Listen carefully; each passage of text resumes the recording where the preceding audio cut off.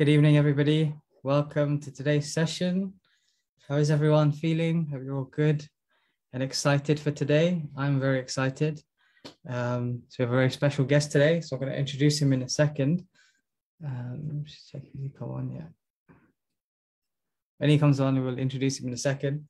Um, while we're waiting, just to remind everyone that, um, yeah, thank you for joining the course so far. I hope it's been interesting, engaging and uh, we have a special retreat planned for everybody on the 12th. So thank you for those who've signed up. We've had quite a few signed up already.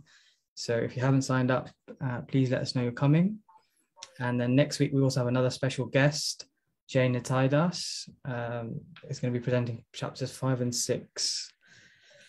So yeah, um, really excited to share with you uh, this session and hopefully it's going to be very engaging. Um, and yeah, we're going to ask some lovely questions to Sutapa, who's um, should be with us shortly. So maybe on the chat we could just, uh, or maybe you can unmute like, how's everyone feeling? Um, everyone excited about the session, or what's how's the journey for the Gita been so far for you all? It- It's been nice to speak to some of you as well. So some nice personal realizations.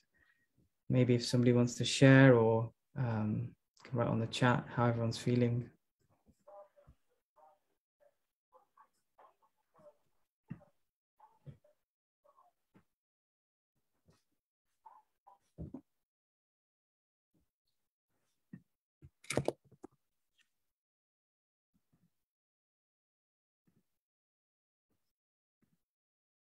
So yeah, everyone's feeling good. okay, great. Uh, nice experience so far. Hare Krishna, thank you. Um, so yeah, thank you all for joining. So we're gonna, gonna introduce Sutapa in a second. Um, so I can see he's here. So yeah, without further ado, um, just gonna spotlight for everyone. so welcome, Sutapa. I'm just gonna do a quick introduction. Um, so the reason why we've been learning Gita and the reason why uh, all the material that you've seen and the way it's broken down in acronyms and the course we've been sharing, uh, it's all down to Sutapa. So uh, I hope we share gratitude and love uh, for to him for sharing this with us and being so kind to um, you know share this wisdom and the way he's broken down the Gita for us. It's absolutely amazing and made it accessible for us.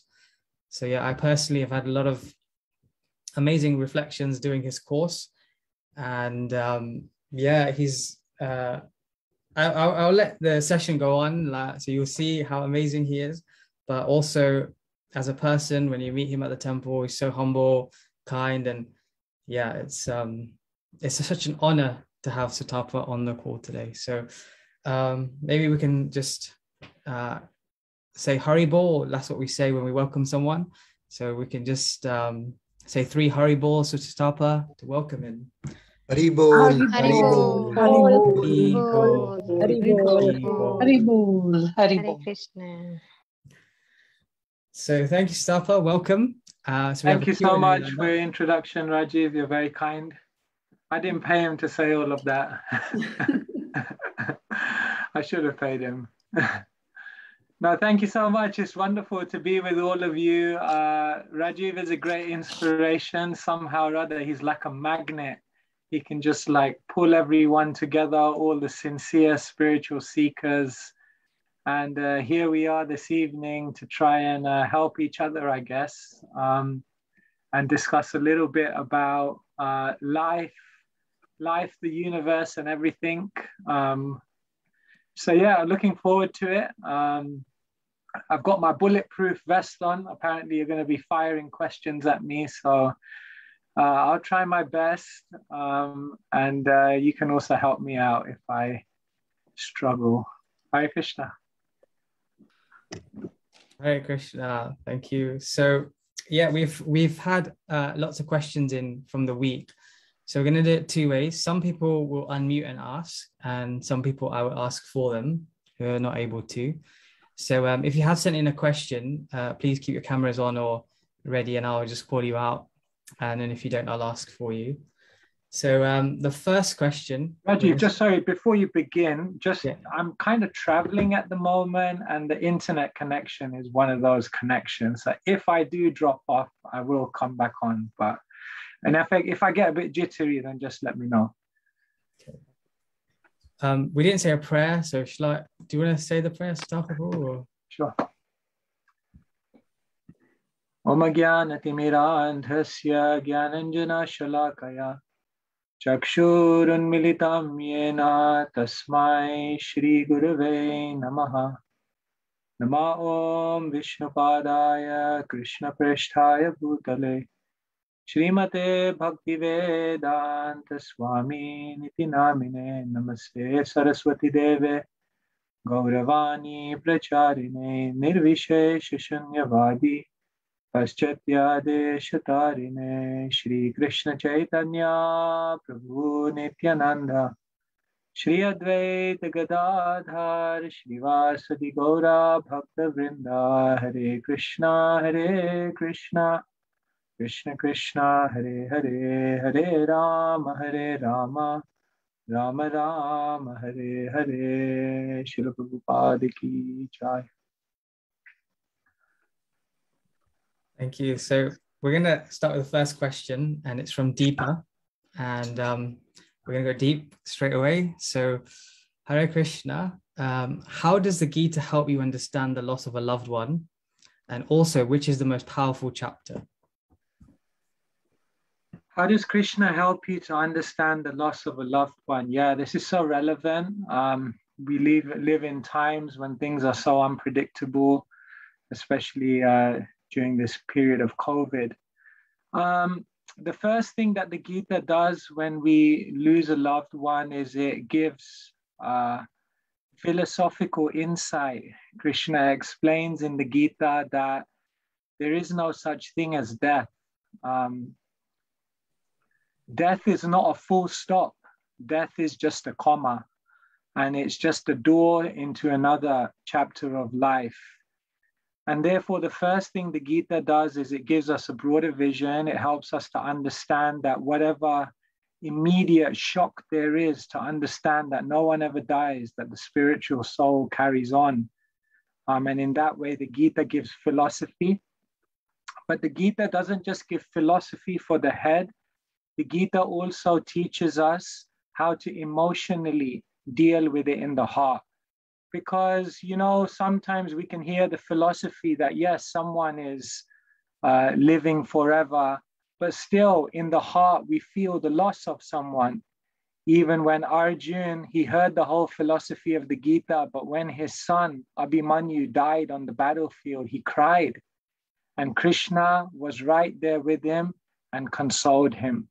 And Krishna didn't give him philosophy at that time, but Krishna just uh, let him go through his process of grieving. So the Gita not only gives us philosophy, but helps us to understand that it will take time. It will take time for us in our hearts um, to accept that. Time heals. Um, and the third thing that the Gita teaches us when someone leaves this world is it helps us to understand the value of life. That um, yes, there's a top a clock which is ticking up there, and our name is on it, and one day our time will also run out. And therefore, the way in which we utilize our time, our lives, um, is so uh, crucial. There's no time to waste. Um, and so the Gita helps us to prioritize our own life. And in this way, when someone leaves the world, when we have philosophy and a bigger vision, when we have a heart of emotion which, uh, which will heal in time, and when we have uh, a realization and illumination about the value of life, then losing uh, someone in this world, uh, I won't say it becomes easier, but at least many beautiful things can come from it as well. Is that okay? And there was Yeah. a second part to the question. What was the second part? Um, what is the most powerful chapter? What is the most powerful chapter? Wow. Uh, that's a difficult question to answer. Every every chapter has its own power. Every chapter is like a different arrow in the quiver. Um, every chapter adds a different aspect to our understanding of reality. But uh, for me, uh, one of the most powerful chapters of the Gita is chapter number 12 because in chapter number 12, Krishna talks about the kind of person you have to become to conquer God's heart. So Krishna says in a beautiful verse, Advaishta sarva bhutanam maitra karuna eva cha.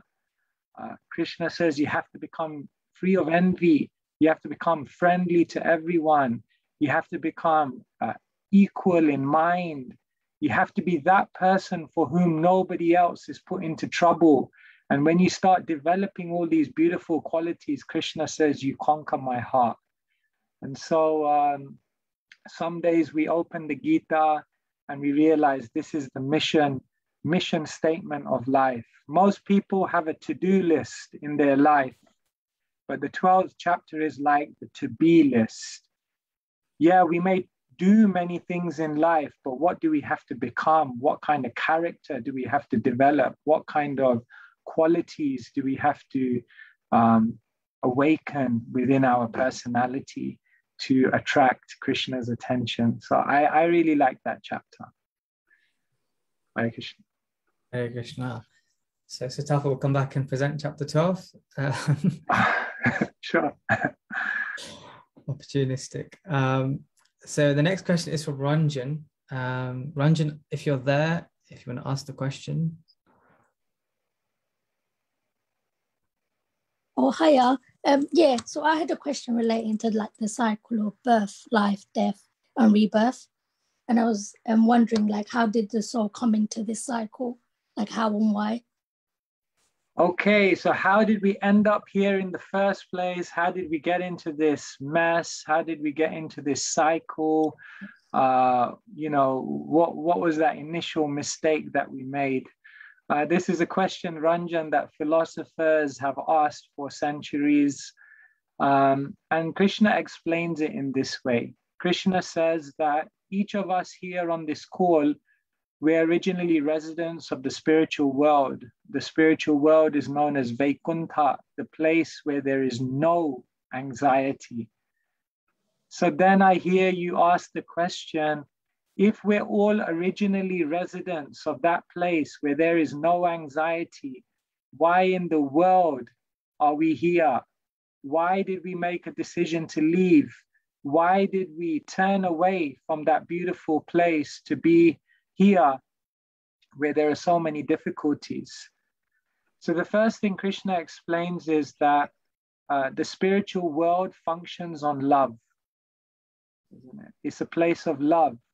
And in order for love to exist, every soul has to have free will. You can't force someone to love you. So, Krishna wants to have relationships of love in the spiritual world. But in order for that love to exist, he endows every soul with free will. So then, what's explained in the scriptures is that some souls uh, with their free will, develop a curiosity. It's not that they're dissatisfied in the spiritual world. It's not that they've kind of fallen out with Krishna. It's not that they're just kind of thinking like, I'm bored here. There's nothing else to do. Like, is there some other action somewhere else? They just have a curiosity. Like, what would it be like to be separate from Krishna in another place? Because I've never experienced that before. And what do they say in the English language? Curiosity killed the cat. so when you have curiosity, then Krishna, he doesn't um, force you to stay in the spiritual world. He says, if you have a curiosity to try to understand what life would be like separate, then I create a situation um, for you to experience that. And that's the world that we're living in at the moment. Um, it's a university, it's a school, it's a place where we go through different experiences and learn lessons and ultimately come to the conclusion that, you know what, um, this is not the place I want to be. Uh, this is not the place I belong. This is not the place where I can find happiness. Um, there's, there's somewhere uh, there's somewhere else that I am supposed to call home. And that place is the spiritual world. So in the short answer to your question is that we we came to the world because we in one sense misused our free will and we had a curiosity so here we are um, but not to worry uh, we're here but the beautiful thing is that krishna gives a path by which you can go back to the spiritual world very very quickly um, and, and and we're all on that path so um, hopefully, we'll be back there soon. Thank you. Thank you. Thank you, Ranjan. Thank you for your question. Um, thank you. So we have the next question, which kind of relates to this. Maybe we could just clarify and tie up. Uh, Sonal, are you on the call? Uh, if you want to unmute and just ask. Hiya. Um, yeah, I think it leads on quite nicely from what you've just said. Um, my question is, um, where does the soul's karma originate from? Oh, okay. Yeah, right. So you're asking a connected question, Sonal. So, yeah, as soon as we enter the world, uh, in the world, there is a system of karma. You may be aware, Sonal, that there are five topics in the Bhagavad Gita. One topic is the soul, another topic is the material world that we're living in, another topic is God, another topic is time, and another topic is karma. So it said that out of these five topics, the first four topics are eternal. They're eternally going on. Time is eternal. Uh, God is eternal. The soul is eternal. This material world is eternal in the sense that it keeps on recreating. But the one thing that's not eternal is karma. Because karma begins when the soul enters this world. And why does karma exist? karma exists as an educational tool. Um, I call it cosmic sensitivity training. so, karma is a way in which the universe educates us into a better way of living. You do a bad thing, you get a bad reaction. Don't do it again. You do a good thing, you get a good reaction to reinforce it. And you do a spiritual thing, and it takes you to the spiritual world. So, in answer to your question, when does karma begin? When the soul enters this world. Because when the soul enters this world, it needs to be educated, and karma is the means by which it's educated. But when someone, when a soul realizes its identity, its relationship with God, uh, it's learned the lessons. So there's no more need for karma. And therefore, karma disappears and the soul re enters the spiritual world. Does that make sense, Sonal? Yeah, it does. Thank you so much. Thank you. Thank you. Um, so the next question is from Manisha. Um, again, so this is related to the soul. Manisha, are you on the call? Um, or so she's asked, what's the best way to reconnect with our soul? Okay, just to clarify the terminology, when we say our soul, um, it, the more accurate way to say it is that we are a soul. We don't have a soul. We are the soul and we possess a body. And as a soul, what we're really trying to do is not connect with the soul because we are the soul, but what we're trying to do as a soul is connect to God. And the process by which the soul connects to God is known as yoga. Yoga comes from the Sanskrit root yuj, which means to connect or to link. So that process by which you connect to God is known as yoga. So the Bhagavad Gita is a book of yoga. It's a book of how to connect again with God. Now, in the Gita, Krishna gives many, many different ways or paths of yoga by which you can connect with God.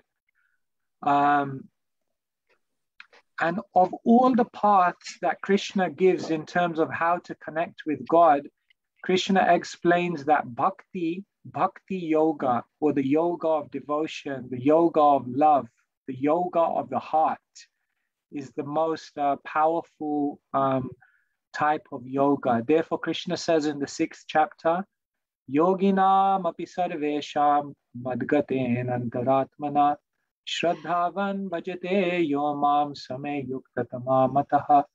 Krishna says, Yoginam api sarvesham. Of all the yogis you can think of, madgaten antaratmana, one who has given their heart to me in devotion, same yukta tama mataha. That yogi is considered the highest, the best, the most accomplished, and the happiest yogi. Um, so yoga is the process by which we connect to God, and bhakti yoga is the most powerful, efficient, and effective means to connect with God. Um, and so uh, that's what the Bhagavad Gita teaches. Um, yeah. I'm kind of answering a little short because I'm, I'm guessing there are a lot of questions. And if you want me to expand upon it, I can expand upon it. Yeah. So we've got another question, which is related to the Paramatma. Um, so we understand there's a soul and then there's a Paramatma. And the question is so, what happens to the Paramatma when you leave the gross body? And in connection with that, is it different for individuals? For example, like say if someone's attached to Lord Ram or Lord Narasimhadev, then are their Paramatmas different according to the taste and relationship? Um, that's from Dharmendra. Okay, good question. Oh, Dharmendra, oh friends. um, Paramatma is the expansion of Krishna that accompanies you in this life. Paramatma is like the CCTV that's kind of right there with you, but not just spying on you, also helping you. Um, so the Paramatma is an expansion of Krishna, is Vishnu Tattva, is Vishnu, basically. Everyone has Vishnu within their hearts. Um, now, what happens is that when we travel from one body to another body in the material world, then the Paramatma stays with us. It continues with us through this journey in the material world. However, it's said that at the point when we gain release from the material world, at that time when we re enter the spiritual world, then the Paramatma doesn't follow with us. The Paramatma is only with the living entity in this world because the Paramatma is like the constant companion who's guiding us back to the spiritual world. And when we're in the spiritual world, then the Paramatma is no longer with us, at least in that way, in the heart region alongside the soul, because we're then we're already with Krishna. Um, everyone here will have a relationship with God in a unique way. Uh, will have a relationship with God in a unique form. Some people worship Krishna uh, as a, you know, they're related to Krishna as a friend. Some are related to Krishna as a servant. Some are related to uh, expansion of Krishna or another incarnation of Krishna, perhaps Ram. So the Paramatma will help guide us back to wherever we're meant to be. But once we're there, the Paramatma is uh, no longer with us because we're then situated right there with uh, God Himself. Thank you so much. Um, wonderfully explained. I hope that answers your question, Dharmendra. Um, so the next question we have from Natasha, and uh, she's asked, um, we have aspects of good and bad in us. So how do we gauge if we're on the right track, and how, and if we are indeed living as the Gita and Krishna teaches us, how can we recognize uh, where we need to improve? Yeah, there's an old fable of the good dog and the bad dog. We all have a good dog within us and a bad dog. Um, sorry, I think if someone just mutes Pushpa, I think Pushpa, if you can just mute. Yeah, thank you. Um, it's almost like you remember in those old cartoons, they used to have like a demon on one side and an angel on another side, and then this kind of confused person in between so we all seem to have this good side and bad side. And sometimes the good side comes out, sometimes the bad side comes out. Sometimes you're driving and you can stop for a very elderly lady and you know let the lady cross across and you think i'm such a you know divine person and then you can drive along and someone can cut you on the road and you can be horning and beeping and effing and blinding and swearing and you think oh my god I thought I was a nice guy. This is another side of the personality coming out. So Krishna explains in the 16th chapter that we each have a divine and demoniac side. Um, it's interesting. In earlier yugas, divine and demoniac were on different planets. But later on, divine and demoniac were on the same planet, but they were in different families. Later on, divine and demoniac were on the same planet, they were in the same families, but they were in different individuals.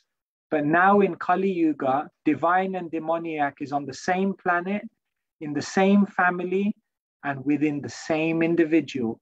And therefore, we each have a lower side and a higher side, a good side and a bad side, a divine side and a demoniac side. And how do you judge um, what's happening? Well, just observe your character one amazing thing that I've managed to do by Krishna's grace, which I thought I'd never do, is for the last 25 years, I've written a diary. And I, I never thought I'd write a diary. I thought that was for like teenage kids who had like, you know, like um, a crush on someone or something, you know. I never thought I'd write a diary, but I started writing a diary 25 years ago to observe myself on a day to day basis who am I? What is my character? How do I relate to people? Um, what is my inner dialogue? Um, and it's amazing. By writing a diary, you can actually begin to assess the internal character within yourself and how you're evolving. And I tell you, uh, you can actually perceive how amazing this process of Krishna consciousness is because it actually changes you. Prabhupada said this movement turns crows into swans. And therefore, you may look at your character and say, Oh God, I'm so envious of others. I get so angry. I've got so much greed. Um, I'm not tolerant. How will I ever change? Believe me, you can change. You can actually bring out uh, your best self. Um, but it requires practice of spirituality and deep introspection along the way. I hope that helps. Thank you. That was amazing. Thank you, Natasha. Thank you. So the next question is from Saurabh. Um, are you there? Yeah, yeah. Can you hear me? Yes, Yeah. Saurabh, we can hear you. Yes. So I think you you have uh, kind of already answered my questions. It was it was around those things as well. So we we know that I mean uh, something is not good for us, but we tend to do that thing. I mean we we had this reading for chapter three where we we got to know that lust is the greatest enemy or worst enemy for us, and still I mean how we can get into that frame of mind or we can have that strength of mind that when we know that something is not good for us or not good for someone else, we are not doing that thing, or we are just Yeah, how to how to overcome. Yeah. Oscar Wilde, he said, I can resist everything except temptation. so it's so difficult, you know. You know, someone's trying to give up smoking, someone's trying to give up, you know, chocolate, someone's trying to make sure that you know they don't get angered by other people, but then we again get angry. Uh, how do we uh, change ourselves? I don't know if Rajiv or whoever was teaching the third chapter shared with you. There's an acronym. Uh, there's an acronym for everything in life. Um, and if you want to overcome temptation, then the acronym is COST. Saurabh is going to cost you. If you want to overcome temptation, C stands for conviction. The thing you have to be convinced that the greater thing you're aiming for is so amazing that you need to give up this immediate thing. You have to be philosophically convinced that there's a much greater gain in the future. O stands for openness. You know, one of the most important things in overcoming temptation is being open with a friend, telling them when you made a mistake, when you did well, getting their advice, getting their encouragement, being open and sharing. Um, because when you share with others, then you draw strength from them. And not only that, when you share with others, Krishna sees your sincerity, that you're being honest, open, and Krishna says, This person's very sincere, let me help. So the second thing is, oh, be open. S stands for safety. If you want to avoid being tempted by things, don't put yourself in environments. Don't bring yourself in contact with people who will trigger that temptation, right? If you're trying to give up drinking, for God's sake, don't hang out at the pub. I mean, it sounds obvious, but people do this. They keep exposing themselves to the environments, to situations, to people which are going to uh, agitate them. Therefore, safety means always keep a safe environment. And T stands for taste. You know, the ultimate way to give up temptation is taste something higher. We tell people don't just test God, taste God. In other words, don't just test God by asking so many philosophical questions. Does God exist? How should I believe in Him? How can I? Don't just test God, taste God. Experience a relationship with Krishna. Experience the prema ras. Prema ras means the uh, taste of love. When you taste something higher, you can give up the lower. Um, and, and that's the ultimate way to give up temptation uh, by experiencing something much better. So if you want to overcome temptation, C, be convinced. O, be open. S, be safe. And T, get some taste. And if you do that, uh, it doesn't matter what can be, you know, the, the biggest temptations of life, you can overcome them. Thanks. Thanks so much. Thank you. Thank you, Saurabh. Uh, stop you're smashing these questions left, right, and center. So thank you. It's amazing. Uh, so the next question is from Anupam, uh, Anupam Tyagi. So she's asked, can you have two spiritual practices in one house? And how do you intensify the journey back to Godhead or liberation in this lifetime? Uh, can I just clarify when you say can you have two practices in one house? Do you mean different members doing different things? Is that what you mean? She's put e.g. Vaishnav or Shiv Shivat Shivai. Okay, okay, okay. So I guess she's saying that there are different people in the family who do different things. Yeah. Uh, who is this? Who's asking this question? Anupam Tyagi. Anupam. Okay. Okay, Anupam, thanks for your question. You see, we have to respect everyone. Everyone has something they're pursuing. Some people are atheistic, some people are theistic, but within theism, they may worship Shiva, they may worship demigods, they may worship Krishna, uh, they may worship the impersonal. Um, the first thing is Vaishnavas are always respectful. We understand that everyone has free will and it's not for us to impose ourselves on others. So in the house, um, we should respect that, you know, people may worship different things.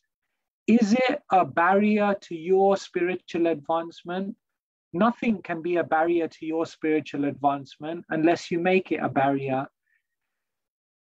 When you close your eyes and chant Krishna's names, you're connecting with Krishna directly. Nothing can come in between you. And yes, sometimes environments may be challenging. Sometimes you may feel that there are different opinions in the house or different ideas, and sometimes you may find that um, somewhat uh, incompatible with what you're doing. But for the most part, we should realize that whatever situation Krishna has put us in, that within that situation, there can be no obstacle to advancing spiritually. So if there are more than one type of practice in the household, no problem. Let us respect and let us share the joy of uh, worshipping Krishna and hopefully bring others on that journey. And let us see the good that others have, you know, like, um, uh, you know, friends or family may be doing other types of worship. It doesn't mean we can't learn something amazing from them. We can learn something from everyone. Um, so let's try to make the best of the situation, and and it doesn't have to be an obstacle. Yeah. And Rajiv, remind me the second part of the question. Um, how do you accelerate your um, devotion in this lifetime and journey back to Godhead? Srila Prabhupada said advancement in Krishna consciousness is dependent on the attitude of the follower. It depends on your attitude. It depends on your urgency. It depends on your intensity. How long does it take to cook a pot of khichdi? Well, it depends. What, what uh, it? Uh, was how much heat? How much heat is there? The more heat, the quicker. So the way to accelerate our growth is to take things more seriously, um, to do things with more intensity, to have an internal desperation, to have a focus. Uh, Krishna consciousness is a science. And in a science, if you follow all the different elements, you will get the result. Uh, Krishna has guaranteed that. So, the way to accelerate your spiritual growth is um, just be more focused and be more urgent about it and prioritize it. Thank you. Um, so the next question is from Urvashi, and uh, I don't know if she's on the call, but she's asked, so if you are not vegetarian, should you refrain from eating meat and eggs whilst attending these Zoom calls? my other question, sorry, I am on the call. thank my, you for that question. my other question was it's all around food, really. And um, uh, some of my mum's friends would come, but they wouldn't eat because they're Vaishnav and they don't eat at other people's houses. Um, Swaminarayans don't eat um, onions and garlic, and Jains don't eat food from the ground. And yeah, I don't understand it. So just an explanation if you have one. Oh, okay. Why Jains don't uh, eat food from the ground and onions and garlic. Okay, so let me deal with those three things eating of meat, onions and garlic, and then root vegetables. Um, okay, Urvashi, thank you for your question. Um, the first thing is uh, being vegetarian for whatever period you can be vegetarian for is a great thing. If it's while you're on a Zoom call, brilliant. If it's for one day a week, brilliant. If it's for Navratri in the year, brilliant. And if it's for the whole year, that's even better.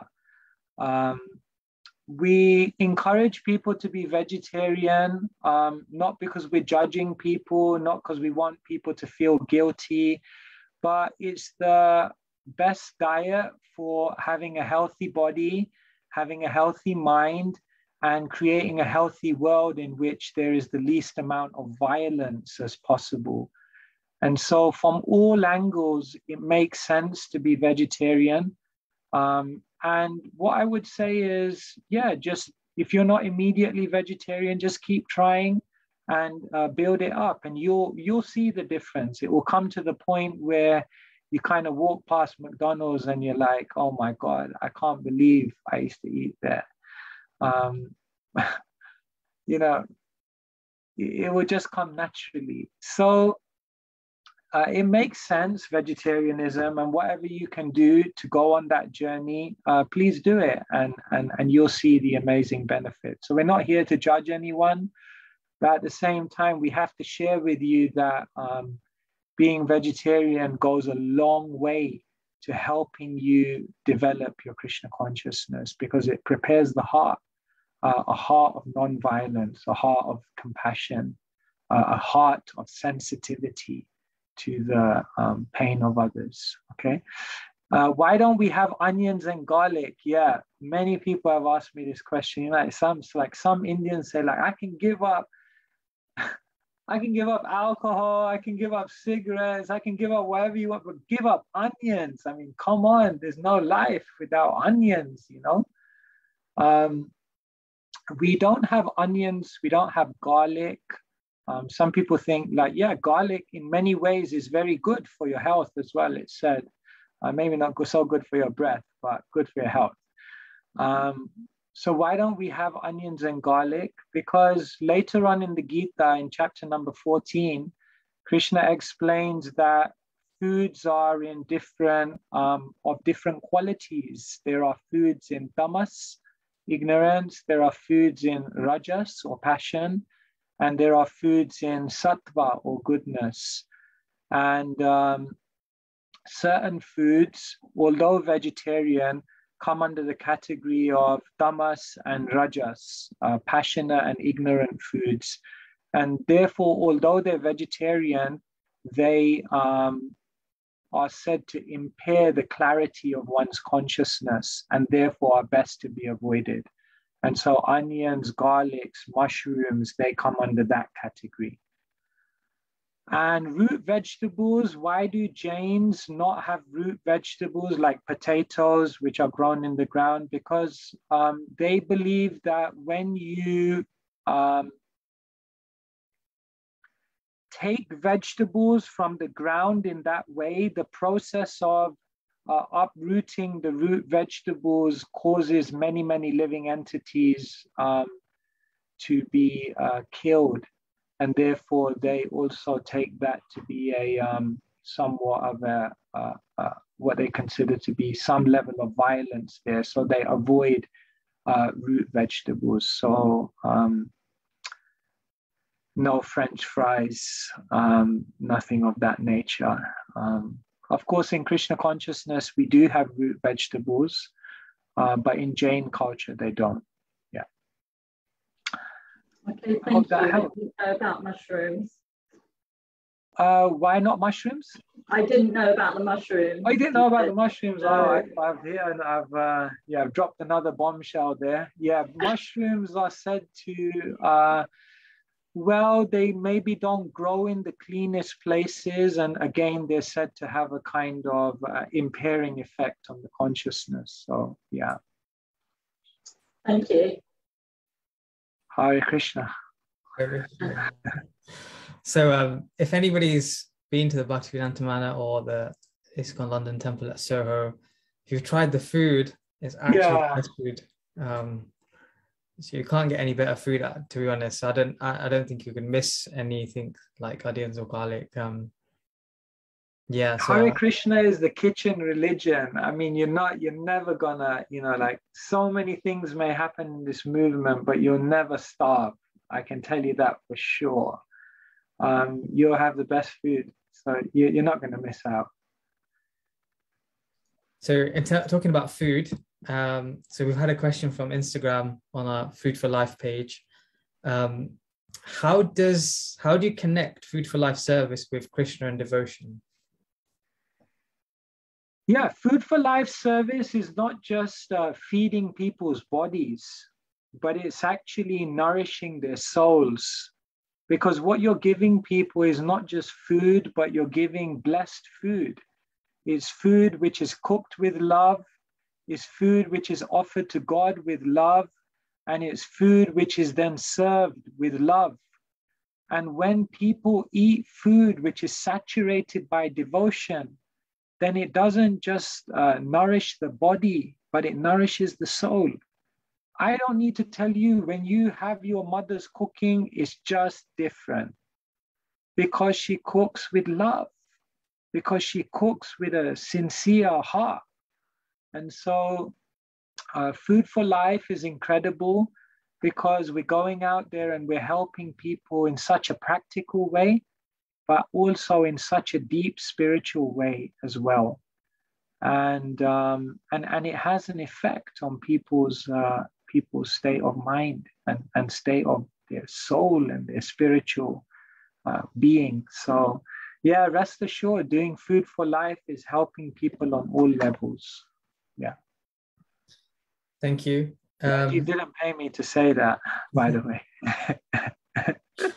everybody, uh, hopefully, see you all next week at Food for Life. um, so, the next question we have is from Henna. Uh, are you on the call? Yes. Hi. Hi, Krishna. Hi, Krishna. Anna. Yes. Uh, so my question is, what does the transition of a um, person who probably dies at the time of death remembering Krishna, but it's not Krishna in the form of God Krishna, it's Krishna as in they're remembering an, the name of the person who's been there life or a demon who's been killed by Krishna. So they usually um, yeah, Henna, Henna, your audio is um, cutting out. Um, oh, try again. Yeah, that's can you better. hear me now? Yeah, yeah. I think that's better. Yeah. Okay, I'll just hold it. Sorry about that. Um, so my question is, um, usually when a demon or is killed by Krishna, I think they they go to Vaikuntha, but obviously they don't have any knowledge about Krishna consciousness or they're not a pure devotee. So how do they what's their transition like? And I think they're also assigned um, certain desires in the spiritual world, but obviously they're demons. They're not going to have um, desires that would be like applied in this. So what what transition for them? Okay, I, I, I kind of caught most of it, Hannah. If I don't, then you can let me know. So the essence of your question, as I understood, was demons who get killed by Krishna, they kind of get a free ticket to the spiritual world. Like number one, how's that fair? And number two, what these guys going to do in the spiritual world because they got all these kind of, you know, warped uh, mentalities and it doesn't really fit with the scenery of the spiritual world. So is that the essence of it? I get it right? Yeah, that's yeah, okay, that's that's okay. So the first thing to understand, Hannah, is that it's not that every single demon gets the same uh, destination. Uh, some demons go back to the spiritual world. Some demons go to the uh, effulgence called the Brahma Jyoti. Uh, some demons they may come back for another term in the material world, but in a better situation. One thing's for sure: whoever gets killed by Krishna gets some kind of benefit but it's not that they all go back to the spiritual world automatically. So that's the first thing to understand. The second thing is every demon. Uh, I, I once was driving past a church and there was a sign and it said, every sinner, uh, sorry, every saint had a past and every sinner has a future. And so you may look at a demon and think they're really, really sinful, but actually, many of the demons, if you look at their past lives, then they may have done something actually very amazing. And they just may be in one term of demoniac existence to kind of burn something off and then re enter the spiritual world. So when we see demons, uh, we should understand that many of them may have had a background that we're not aware of. The third thing is, uh, is it fair that Krishna just gives mercy like that? Well, Krishna gives mercy to everyone in different ways. We think the demons get mercy because they get killed and then they go back to the spiritual world. But Krishna gave all of us mercy. He gave us the easiest process by which we can chant Hare Krishna and go back to Krishna, back to the spiritual world, just like that. Um, everyone, every living entity gets the mercy of Krishna in a special way. And demons get also the mercy of Krishna in a special way. Ultimately, Krishna says, Samoham sarva bhuteshu, I'm equal to all. So it's not that demons are getting mercy that no one else is getting. Everyone gets mercy. Krishna says, My mercy is like the sunshine. The sunshine shines everywhere. It does not discriminate. This is a good place. This is the sun shines everywhere. So that's the third point. And the fourth point is what will all of these demons do when they get there? Because you know everyone there loves Krishna, but it said that by going through that interaction with Krishna, their consciousness immediately becomes purified. And every soul is inherently pure even the soul uh, that manifests in this world as a demon, even that soul is pure. And when it goes through the process of being killed by Krishna, the consciousness is purified. And then ultimately in the spiritual world, it again manifests its spiritual desires like that. Does that help? Yes, it does. Thank you. Hare Thank Krishna. you. so much. Thank you.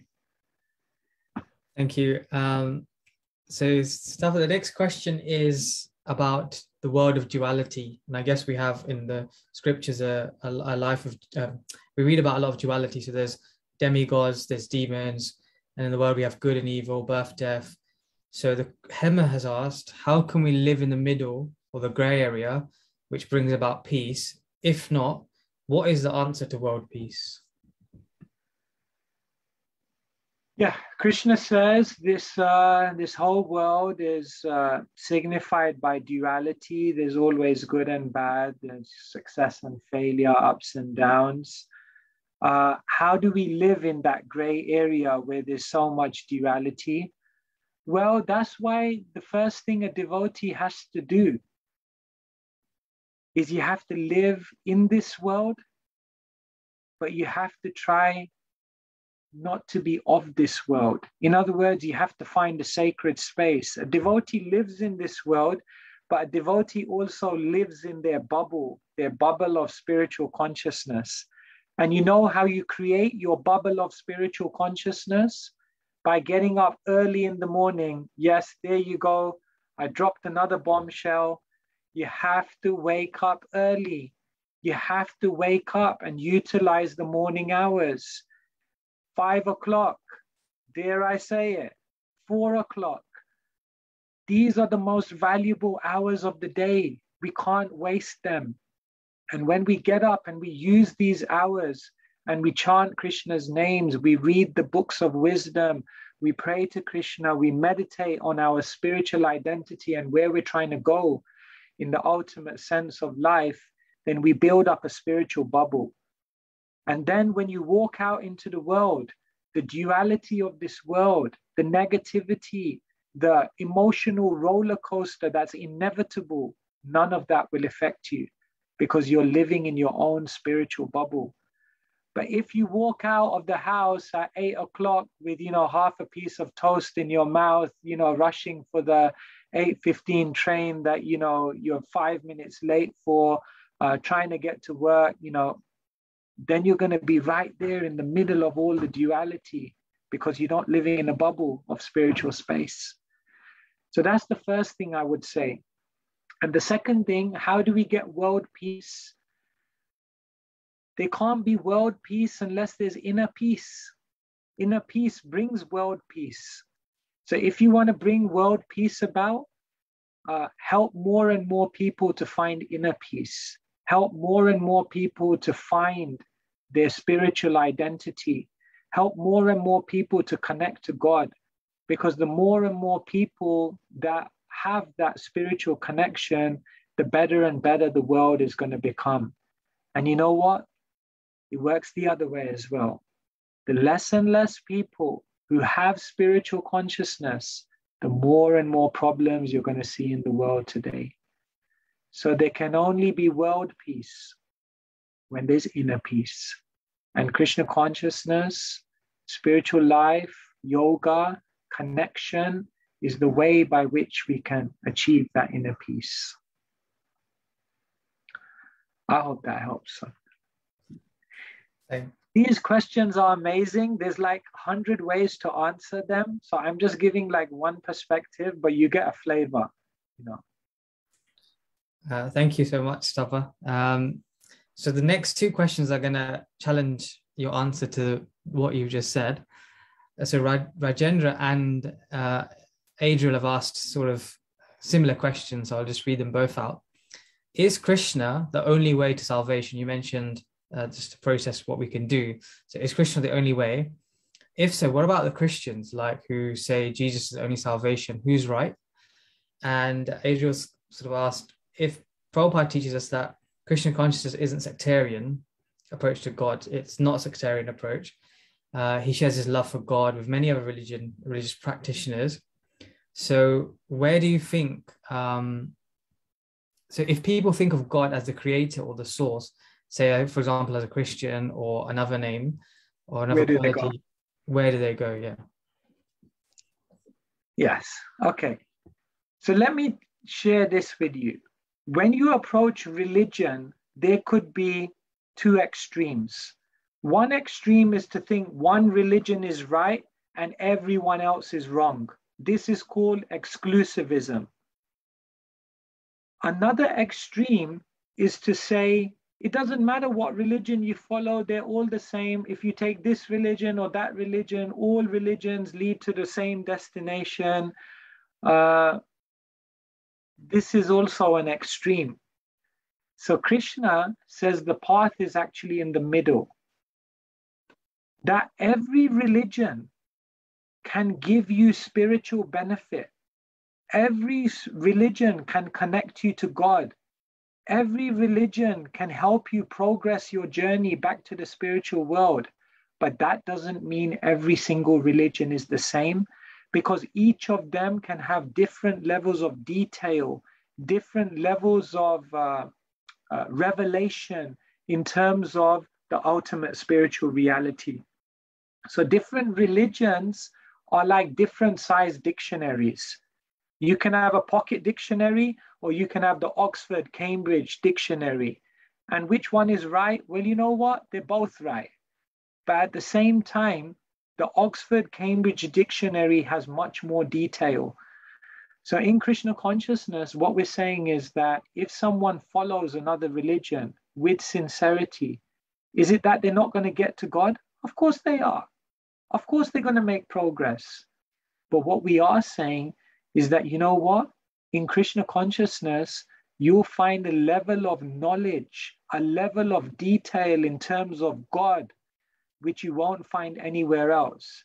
In Krishna consciousness, we can tell you God's name. We can tell you where God lives, his address. We can tell you who God hangs out with. We can even tell you what God has for lunch. You know what? We can even tell you God's daily schedule. We can even tell you what goes through God's mind. And you know what? The more knowledge you have of God, the more deeper love you can develop for God. That's just natural because when you know more about someone, you fall in love with their personality. So is Krishna consciousness the highest? In the, in the most humble way possible. yes, because you won't find that knowledge anywhere else. Does that mean we don't think other religions will take you to God? No, of course. Uh, am I going to sit here and say that Christians have no love for God? I've met many Christians who I learned so many things from. Are we going to say Muslims don't have love for God? They have love. People have love for God. However, uh, there is a certain intimacy when you learn about Krishna, because Krishna is God in his most natural, beautiful, charming, and enchanting personality. So now the next question is if someone doesn't have that knowledge of God, but they worship God as the Father, the controller, the judge, then where do they go? It's hard for us to judge. Everyone has an individual relationship. Uh, yes, they may know him as the father, the judge, but in their heart, they may have a deeper um, intimacy with him. If you read uh, many, many Christian monks or Christian ascetics or Christian saints, and the way they talk about God, it's not just God as the father, the controller. They have an intimate uh, exchange with God. And therefore, I think when we begin to try to stereotype it and say all Christians, well, they go here and the Muslims, they go here, and the devotees of Krishna, they go here. No, no. Within every religion, there also will be variety. So, who gets to the ultimate spiritual uh, destination? The one who has love. And where can that love manifest? Anywhere, because love is not bounded. But where you have more knowledge and detail, you have a much greater chance to develop intimate love. And that's why we direct people towards Krishna, towards Krishna consciousness, towards Srila Prabhupada's books.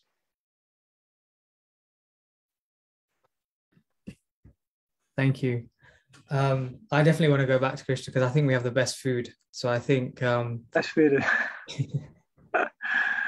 um, do we have time for a few more questions? Or... Of course. By the way, if I've answered something and someone's unhappy with my answer, um, then all complaints can go to Rajiv.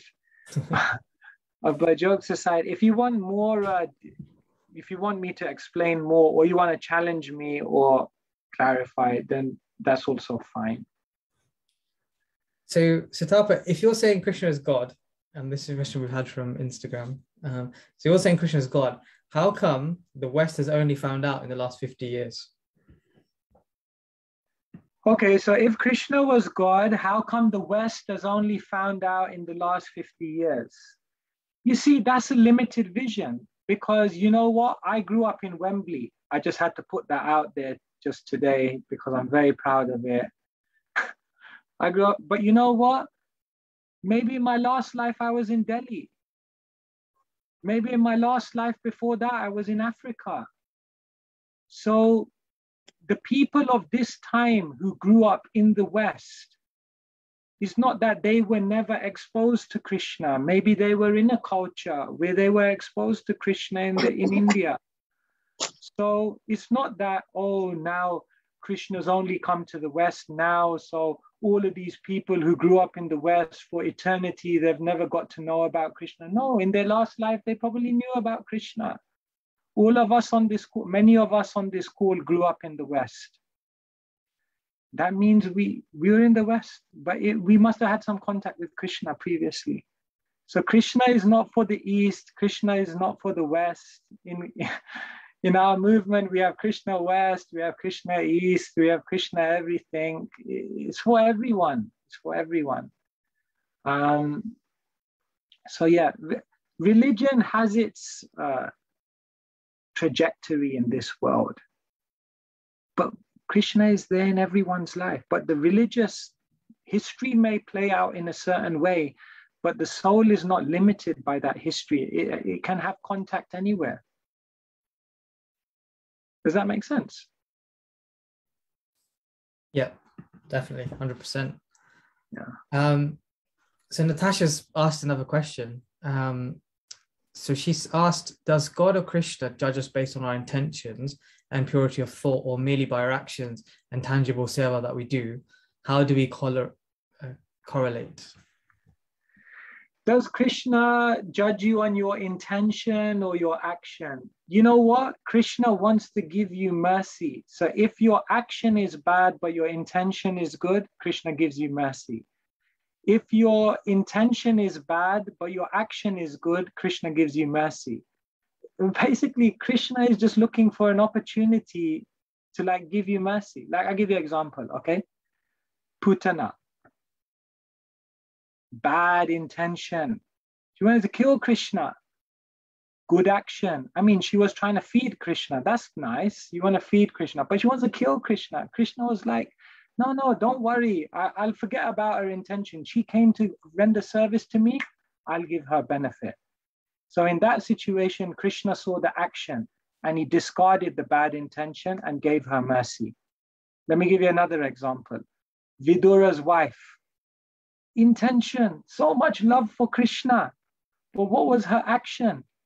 She peeled a banana, threw away the banana, and gave Krishna a banana skin. I mean, have you ever offered Krishna a banana skin on, on your home altar? I mean, that's not very nice. But what did Krishna say? Forget the bad action. The heart was pure. Give her mercy. So, does Krishna see your action or intention? Krishna sees whatever is good, and Krishna rewards you uh, way beyond what you give. So, if you want to get the most mercy from Krishna, therefore, you know, then know the formula. Have a good intention and do a good action, and then you get double mercy. So, Krishna sees both things. Amazing. Thank you so much. Um, the next question is from Prima, and I'm gonna ask her to ask it. So, Hare Krishna. Hare Krishna, Prima. My question is it's a two part question.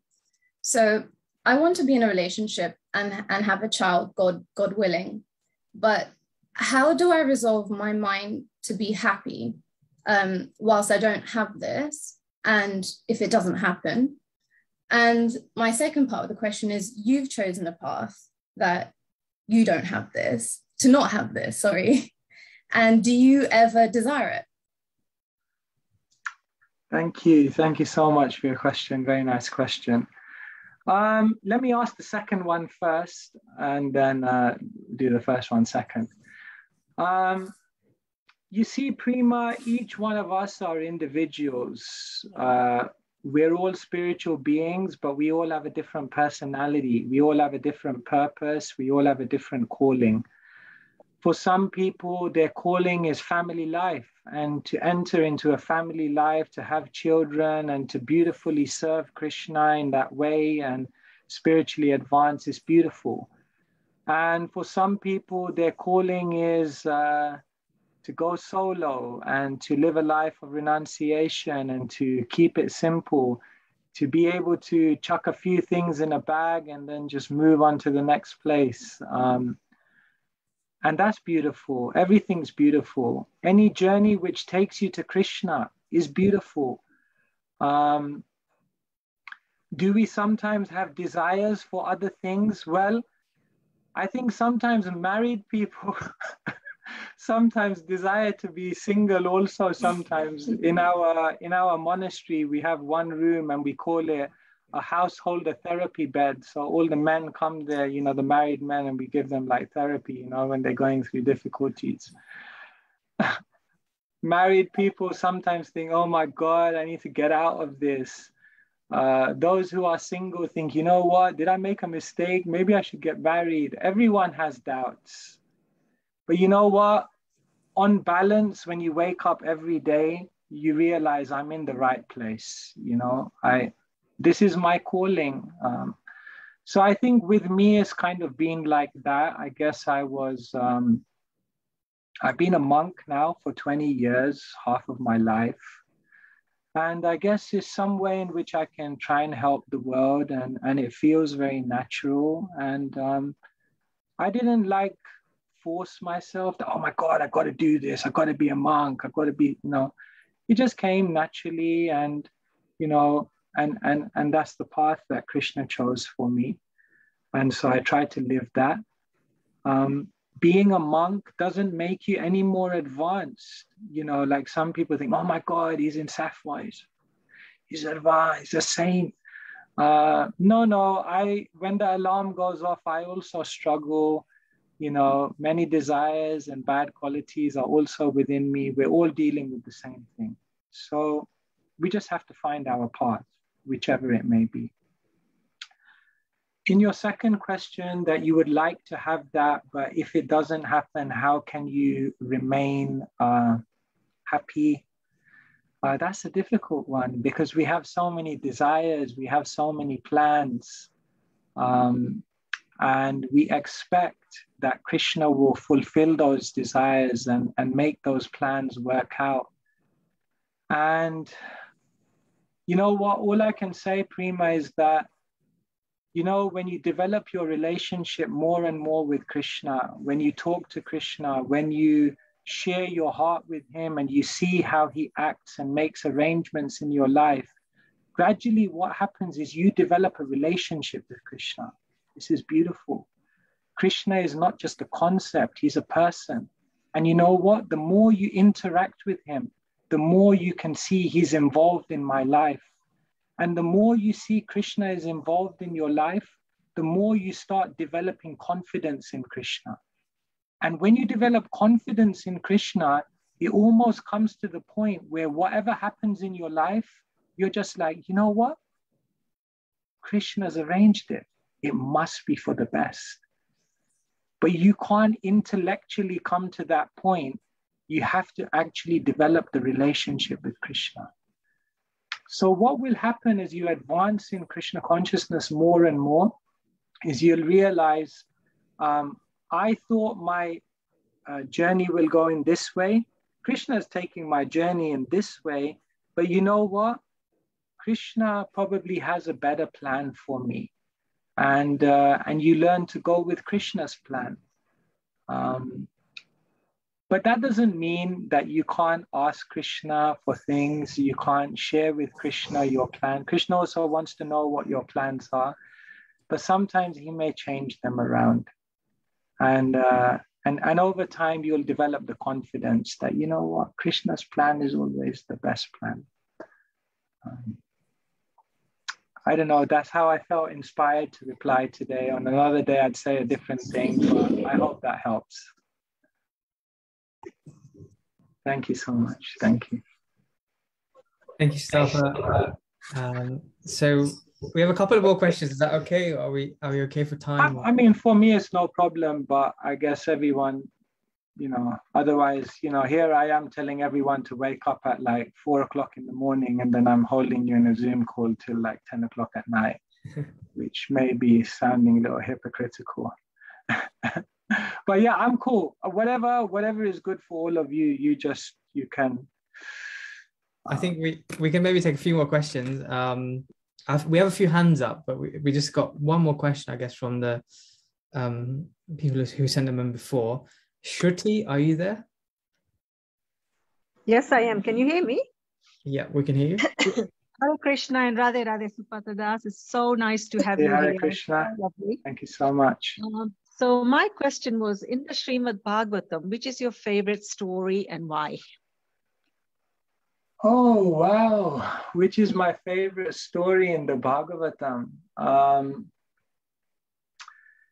again, these are questions which on different days you'd answer in different ways. But uh, I think for me, the way the Bhagavatam begins, I think uh, Parikshit. Parikshit for me is a hero because mm. Parikshit, he just finds out he has seven days to live. And he just like in a moment, he just readjusts his mind and he just accepts it. And not just accepts it, he just embraces it and he embraces it and makes the best thing come out from it. Mm-hmm. Prima was just asking in her last question, like, how do we deal with it when Krishna doesn't fulfill our plans?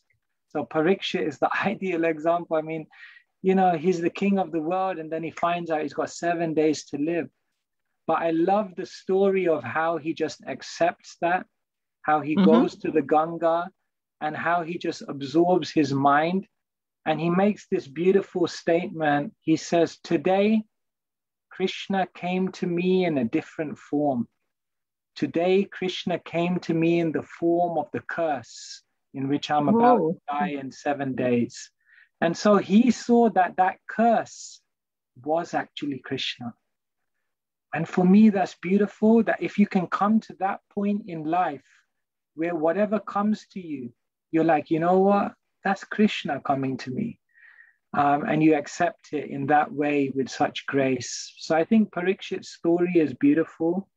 I think, um, and, and it really sets the scene for the whole Bhagavatam to come about. And it shows how, from the most difficult situation, the most incredible thing can happen.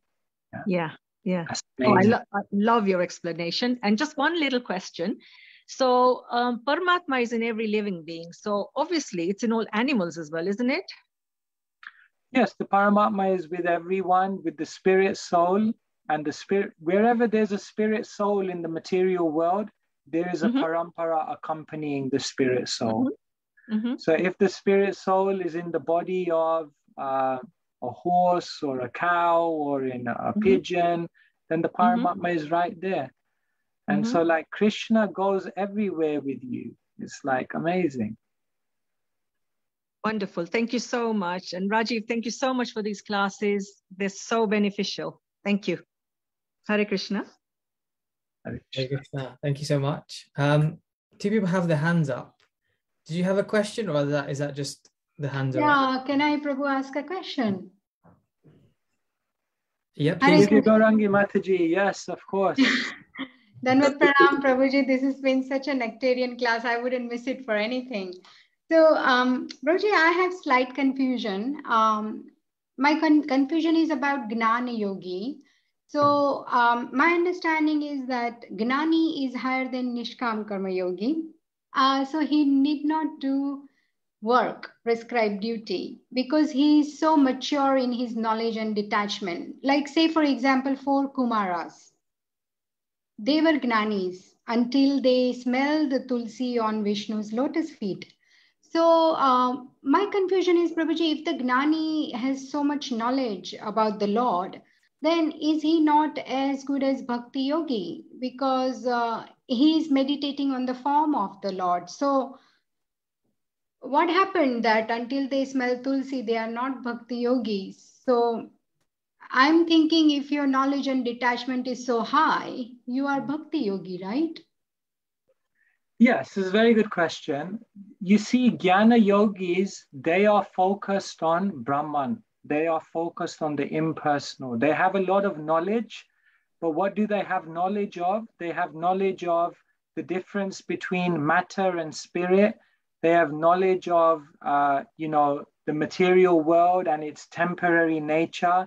They have detachment from material desires. But the net result of all of that is they are still focused on the impersonal feature of the Lord. And therefore, when the Kumaras smelt the tulsi leaves, then they realize, oh my God, this smell is coming from the lotus feet, the lotus feet of a person. Who is that? But oh, that's Krishna. Then they became enlightened to the personal form of the Lord. So, yes, a Jnana yogi has a high level of knowledge and detachment, but that knowledge and detachment isn't rooted in the personal relationship with God. And therefore, they, they're not considered as high as a bhakta like that. Thank you, Prabhuji. I understood. So, does that mean that their knowledge is very high, but still, uh, so they have the knowledge of the Lord, personal form, but they are focused on Brahman? Yes, they are. Of course, there are different types of impersonalists. There are Mayavadis who see the form of Bhagavan as Maya, but then there are Brahmavadis who accept there is God and he has a form which is eternal, but they prefer to worship the Brahman. So it could be any one of those two. Excellent. Prabhuji, sorry, just one small question, one more. I know we are running out of time, but uh, my family asked this question to me long time ago. I don't have answer, and I said I'll ask Sutapa Prabhu. So, uh, so they, my husband asked that when the soul, uh, soul leaves the body. So, as we have learned from Bhagavad Gita, that uh, Krishna is within our heart as super soul. So, what happens when soul leaves the body?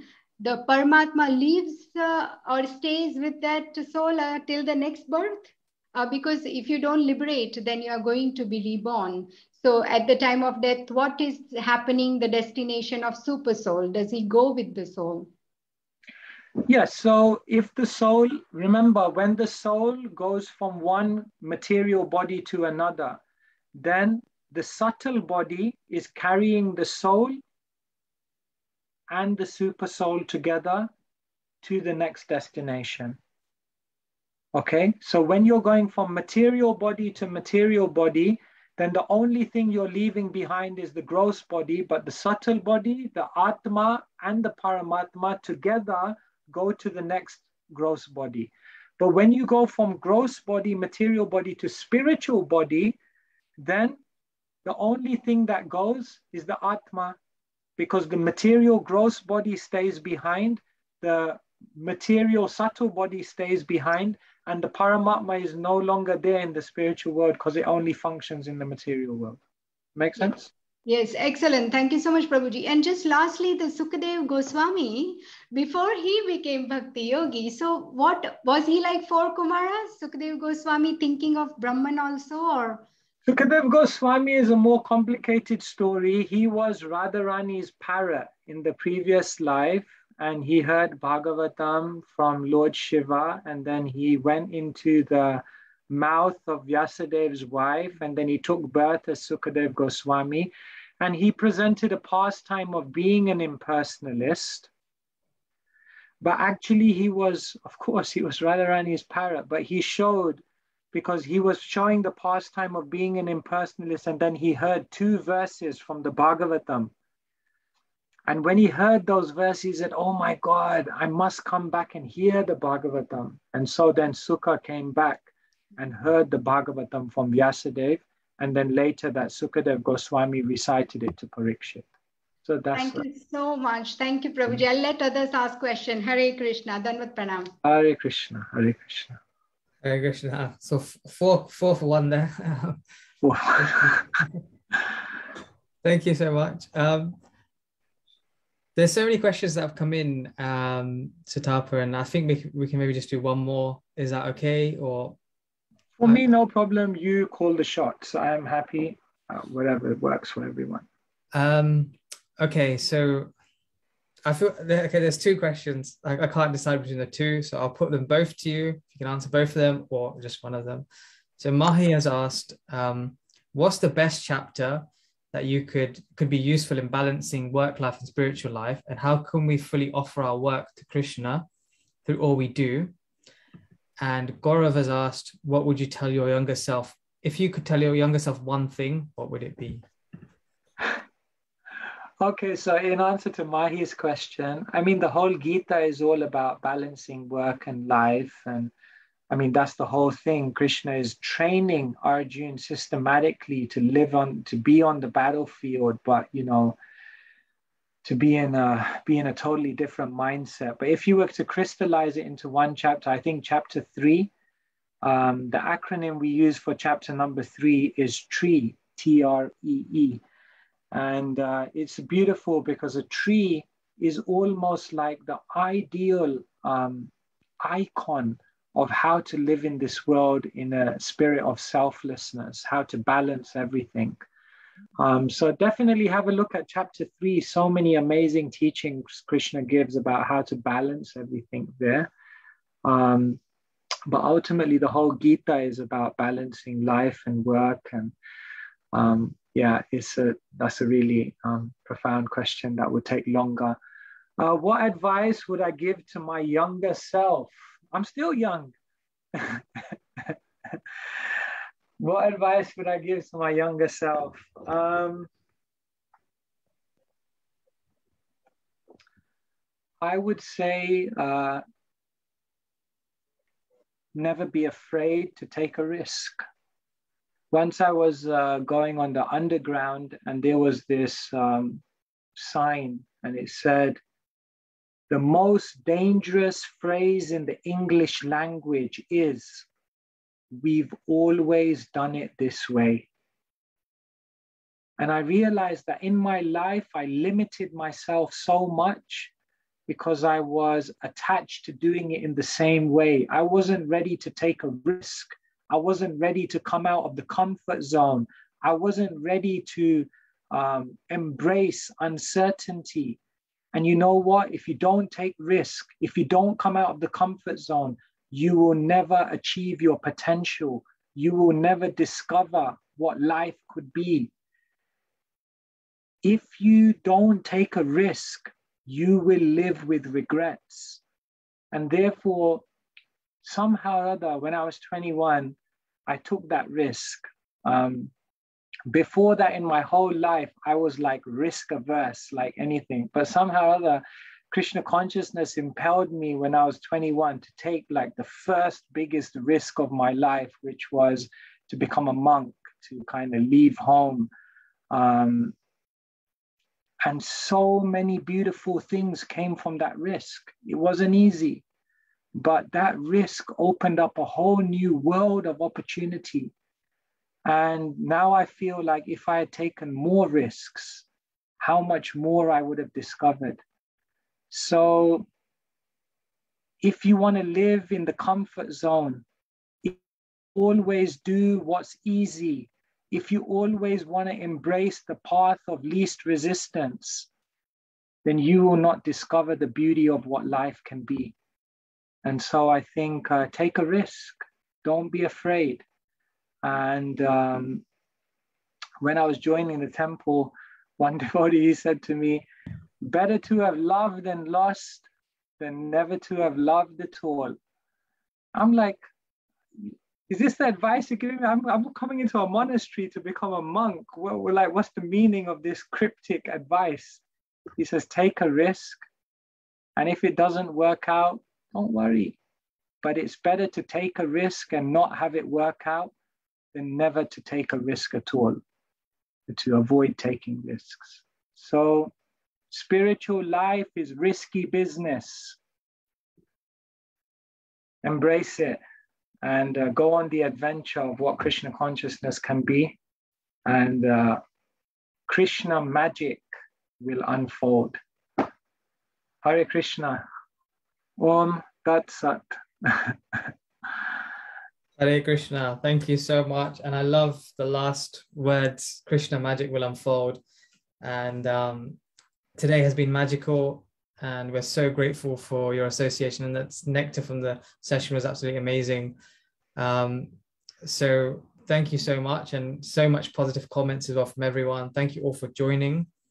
Um, Sutapa, I hope you come back uh, in in next month. I think, uh, Rajiv, we have to thank you. You are uh, um, a beacon of inspiration, your service and your uh, desire to share knowledge with others um, shows because so many people come and you do these sessions. And uh, i think we all have a great uh, appreciation for you and our gratitude to you for everything you do.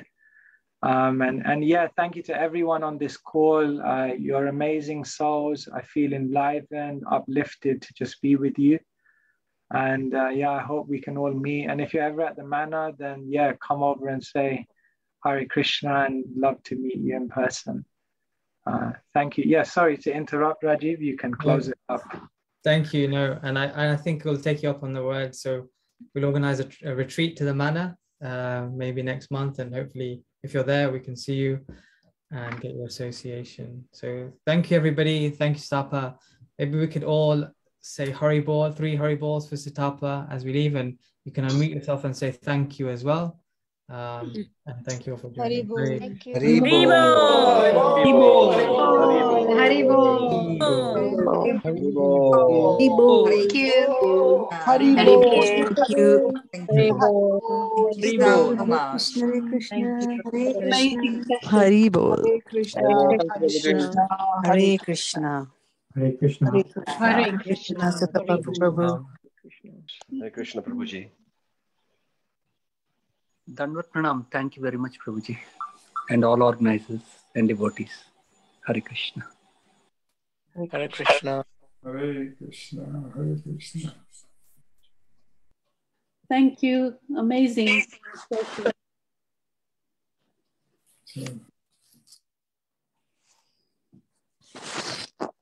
Hare Krishna. Hare Krishna, Govinda Gopi Mataji. Beautiful session. Thank you very much, sir. Thank you. Hare Krishna, Hema.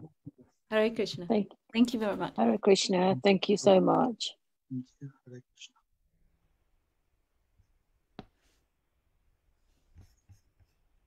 Hare Krishna, Rajiv Prabhuji. Hare Krishna, Hare Smita? Krishna, uh, Hare Krishna, Prabhuji. I missed the beginning. Uh, Will you be putting the recording on? Yes, on we will. Are you on the WhatsApp group? Uh, I I found this out from the, because there was a message on Sankirtan group. Okay, if you send me your number, Yeah. um, I will um, put you on the group and we can uh, share the recording. If not, I'll sh- I'll share it to all the WhatsApp groups. I'll share the um, recording to the WhatsApp groups. Yeah. Okay, I got it on Sankirtan group. Okay. Thank you very much, Prabhuji. Hare Krishna. Hare Krishna. It was very nice. Whatever I heard was very nice session. Thank you. Very good.